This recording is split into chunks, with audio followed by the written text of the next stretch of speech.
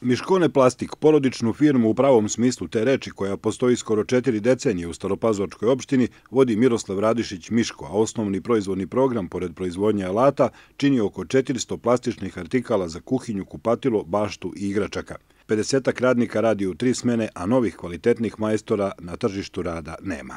Ovaj Skupština opštine je organizovala neke, neke seminare, razgovore sa privrednicima po pitanju zanata u srednjim školama.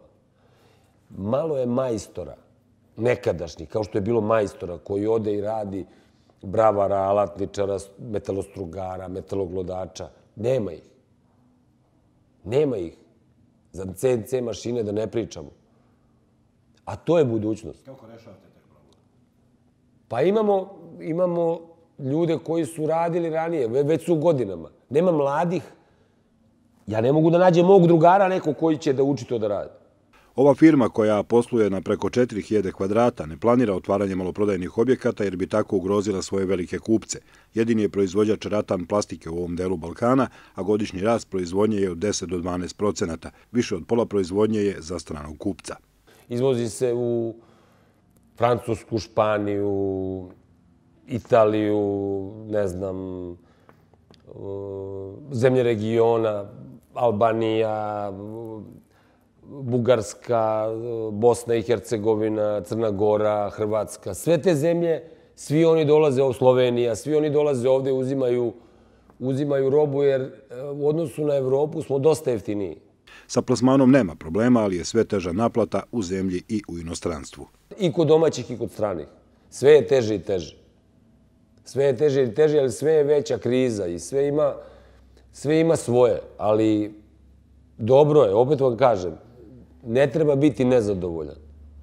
Miško je naglasio da najviše voli da kupi domaći repromaterijal, a o zaradama radnika kaže.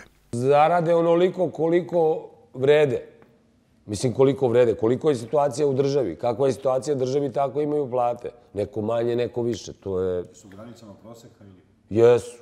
Jesu, rade. Vredni su.